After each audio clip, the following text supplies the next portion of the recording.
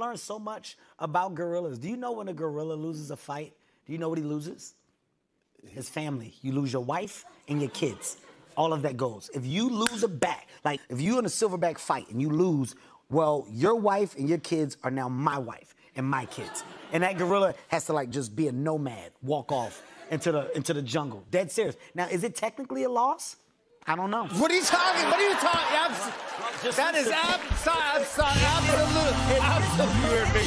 Your wife is watching. You're in big trouble. yeah, but I'm not a, a silverback. But if I was, would you throw some of those fights? Or would you? Oh.